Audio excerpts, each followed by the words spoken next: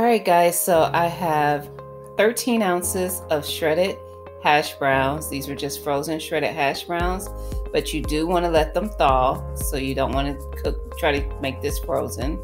We're going to use a half cup of fat-free, 98% fat-free cream of chicken soup. We're going to use an 8 ounce package of the fat-free plain Greek yogurt. And I took about four of these sausage links and cut them up into small pieces. And we're just going to mix everything up in this bowl. So let's get started. All right, guys, so we're just going to add everything to our bowl.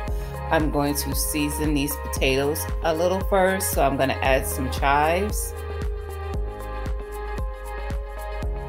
You can season it however you want to. I'm going to add a little slap your mama seasoning and this gives it a little kick but that's only if you like that. Like I said you could put anything you want in salt, pepper, garlic powder, onion powder, whatever. I'm going to add some pepper, just some black pepper.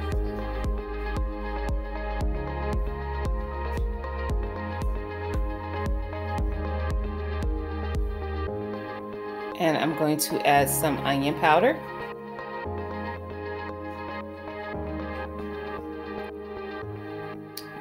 That up a little.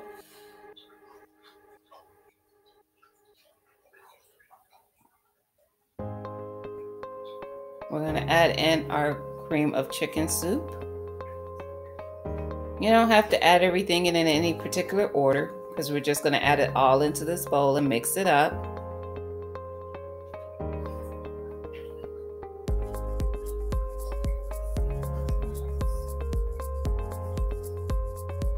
Add in your yogurt.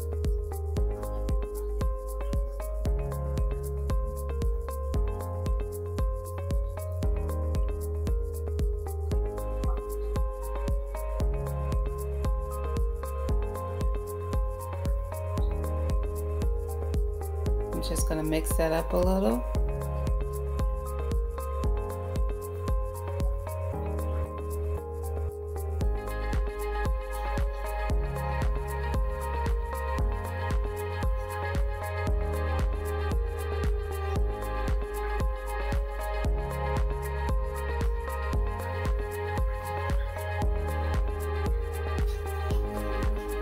Add in our sausage crumbles.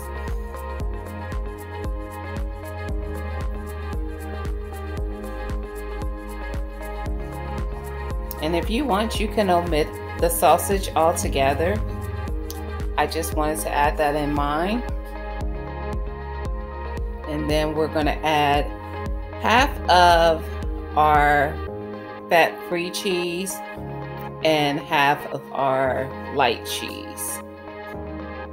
So a quarter cup of each.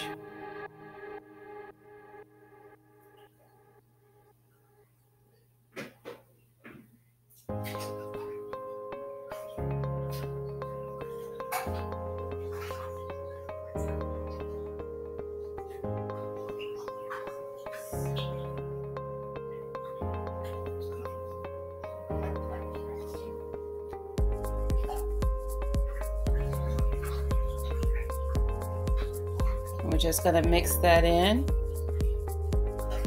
We're going to save our other half of the cheese for the top of this hash brown casserole.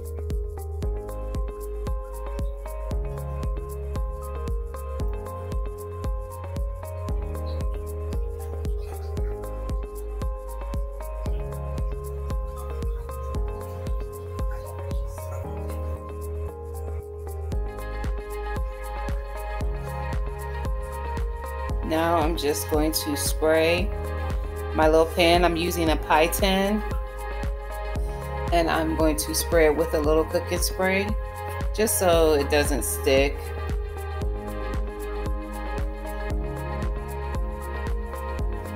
we're just going to add our mixture into the pie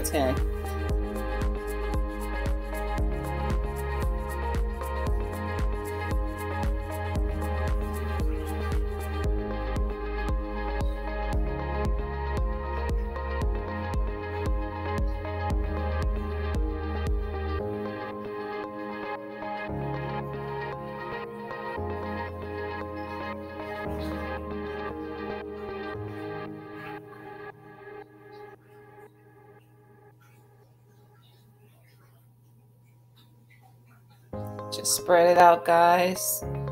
Get it spread out kind of evenly all over the pie tin.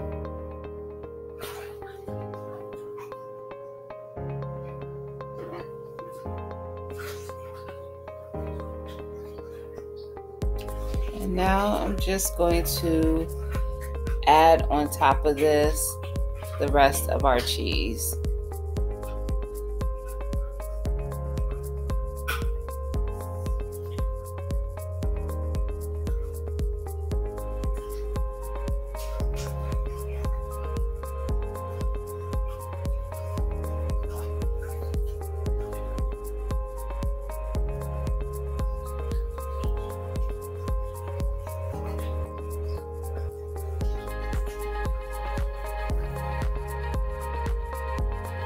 Alright guys, so now I'm going to cover this and I'm going to put it into a preheated 350 degree oven for 35 to 40 minutes.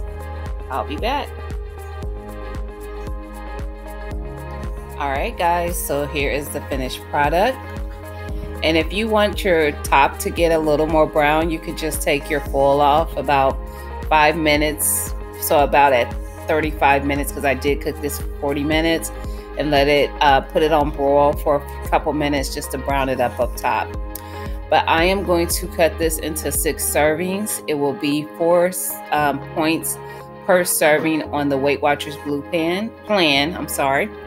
So there you go, guys. It's an easy breakfast idea. I'm going to be having this with some fresh fruit, and that's what I'll be planning to have for breakfast all week. So there you go. And this makes it for a good Saturday morning or Sunday morning breakfast to go along with whatever else you want to put with it. So definitely try this recipe out, guys. Alrighty, I hope you like it. I'll talk to you again soon. Bye.